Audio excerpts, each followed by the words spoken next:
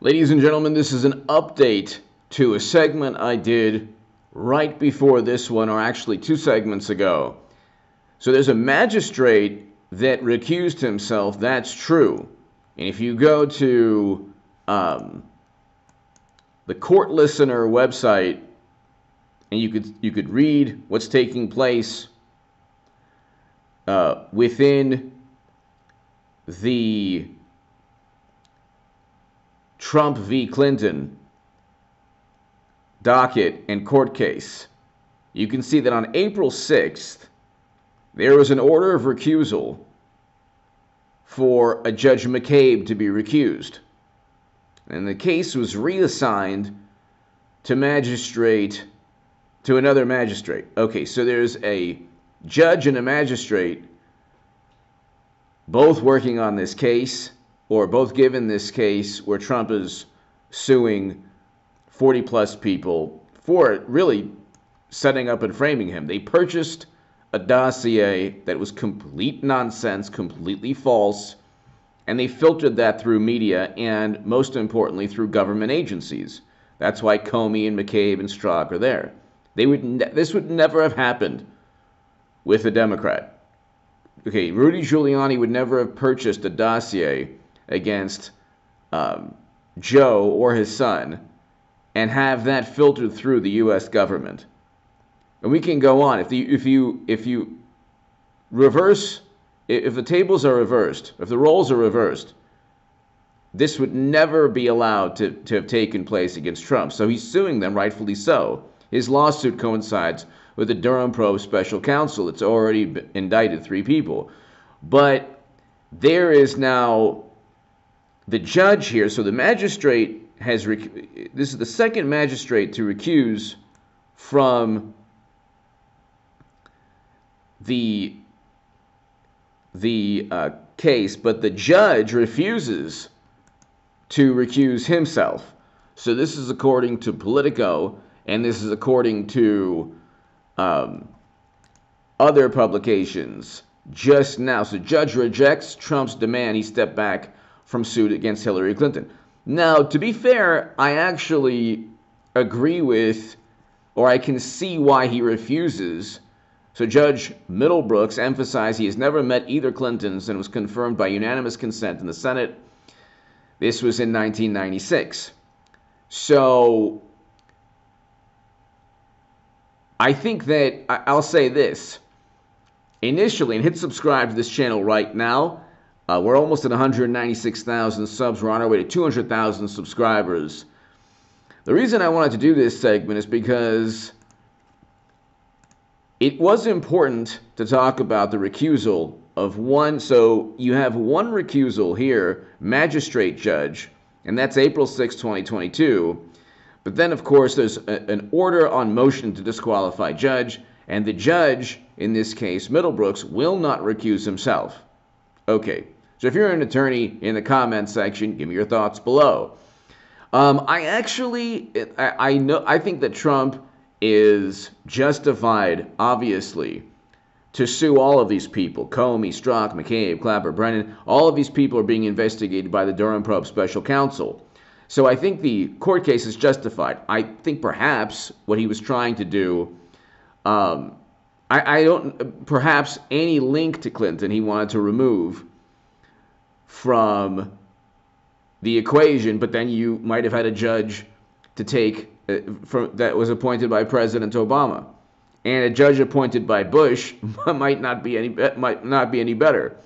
So, or might not be much better.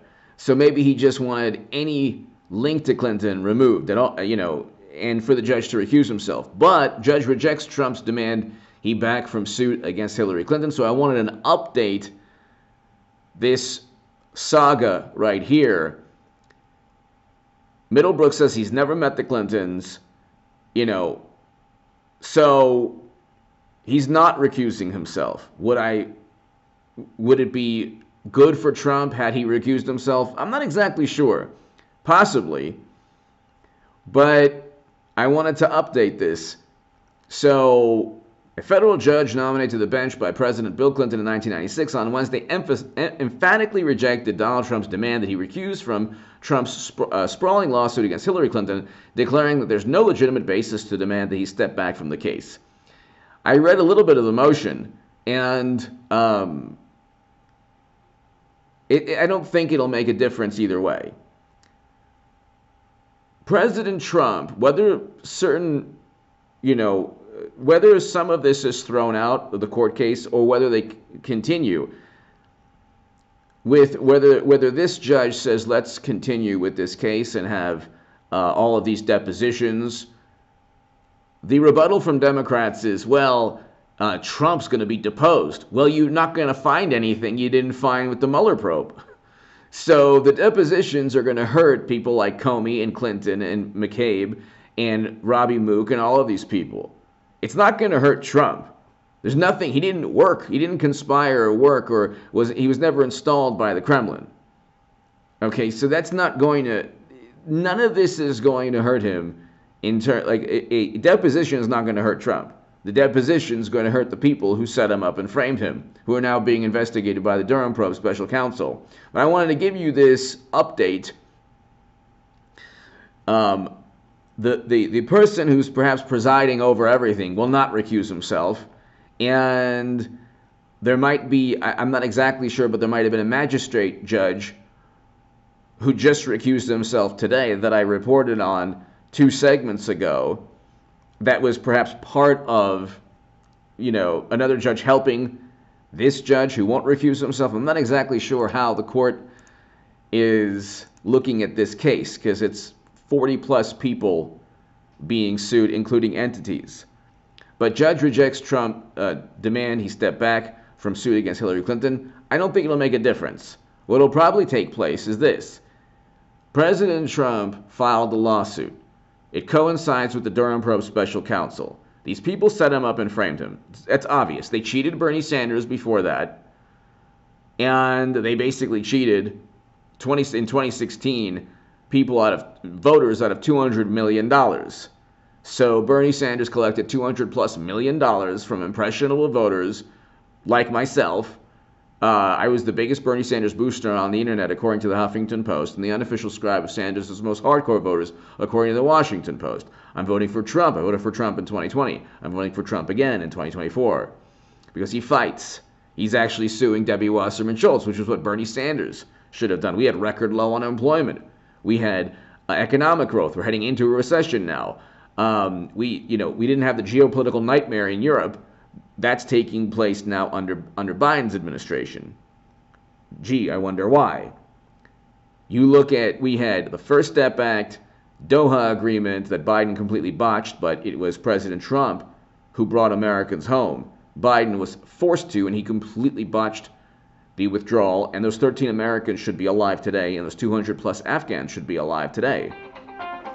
But what, what, take, what took place was what took place was the following. The judge refused, the, the, the judge perhaps looking at the, the main judge here, the magistrate judge actually recused himself today. The judge overseeing everything, the judge overseeing everything did not recuse himself and refuses to recuse himself. The lawsuit is still not a tri- not not a frivolous or trivial lawsuit. The people who set up and framed Trump think that they think that they have the right to treat Donald Trump the way they treated Bernie Sanders. They think they have the right to just buy a dossier. Um, see again, like all of these things that took place millions upon millions of morally superior liberal Democrats, they don't understand, they don't know, they don't care. They don't know what a the Steele dossier is. They don't know what the Alfa Bank n- hoax was. They don't know that uh, Peter Strzok said, we'll stop Trump. They don't know that Clinton and the DNC, and I want a Hillary Clinton Donald Trump 2024 rematch okay? As especially because I was the biggest Bernie Sanders booster on the internet, according to the Huffington Post, and the unofficial scribe of Sanders' most hardcore voters, according to the Washington Post years back. And I'm being serious about that. You have Debbie Wasserman Schultz being sued by Trump, but Bernie should have done that. We had all of these. We have all of the all everything that I hoped Bernie Sanders would accomplish, Trump accomplished. And it's all being unraveled with Biden. But see, they set him up and framed him, and now he's fighting back. They cheated Bernie Sanders and would have done the same thing, but Bernie is not that type of person. He's a political creature and a political animal. Trump is a fighter. Big difference. And we had, for working people or for the average American or for everybody, a better economy and a better foreign policy under Trump. So the political aspect uh, element, okay, I've addressed that. The legal side, I'm not 100% exactly sure why you had one one recusal today, but a judge, the main judge overseeing the case, will not recuse himself. But that's not really relevant, I don't think. Will it be thrown out of court? I don't know. It could be too sprawling and too all-encompassing to for any any judge or court to look at, you know, Trump suing all of those people at once. If that's the case, he's still going to go ahead and continue to level lawsuits at every one of those people. And alongside the Durham Probe, Durham Probe Special Counsel, it's going to be a legal nightmare for everybody that he's uh, going after. Give me your thoughts below. Hit subscribe right now. I wanted to give you an update because that's what I do. And I want you to, I want just to update you on everything that's going on. Hit subscribe. Be here tomorrow morning. Thank you.